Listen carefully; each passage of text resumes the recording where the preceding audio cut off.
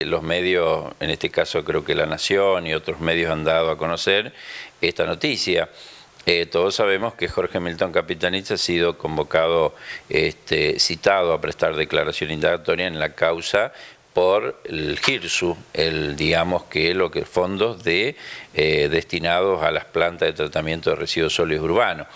La verdad que no conozco muy en detalle sus declaraciones. Ahora bien, eh, en función de esto es que supuestamente se estaría citando a aproximadamente 29 intendentes de El Chaco, más de 100 intendentes de todo el país, eh, lo cual eh, seguramente es a fin de poder este, bueno, conocer eh, qué es lo que se, cuál fue el destino de estos fondos. En el caso de Castelli, como la mayoría de los municipios del Chaco, en los cuales eh, Chipolini de Peñas también está en la misma situación, quien recibió 8 millones de pesos, nosotros hemos recibido 3 millones y medio,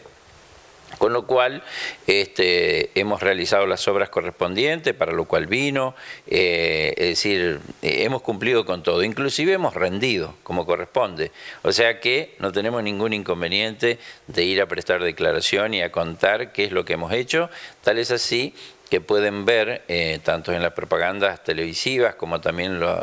el resto de propaganda que hemos hecho, de que la planta de tratamiento eh, de Juan José Castelli funciona y hemos vendido ya en varias oportunidades desde lo que es el vidrio, desde lo que es el cartón, el plástico, todo lo que se recicla. Así que la verdad que tenemos la tranquilidad de, de saber que hemos hecho las cosas como corresponde, eh, se han destinado los fondos tal cual se había solicitado. Me parece que si quieren investigar no hay problema porque nosotros tenemos todo para mostrarle y aquellos que por ahí opinan desde diciendo de que quieren ver, bueno, el municipio es un organismo público, eh, toda la documentación que tenemos es pública y el que quiera ver en qué se gastó la puede ver porque acá está toda la documentación este, de en lo que se invirtió